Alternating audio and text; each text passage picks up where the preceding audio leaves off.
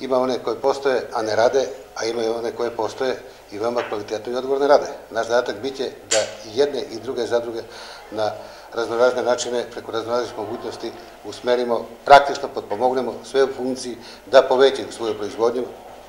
da pre svega ove, okupe što veći broj poljoprivrednih proizvođača kooperanata. Od države tražimo da suzbije sivu ekonomiju, jer to šteti postojećim zadrugama,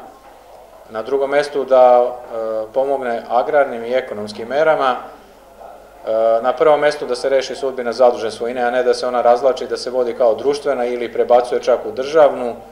a zadruge posjeduju dokaze da su to kupovale, gradile, stekle na drugi način kako zakon jasno kaže,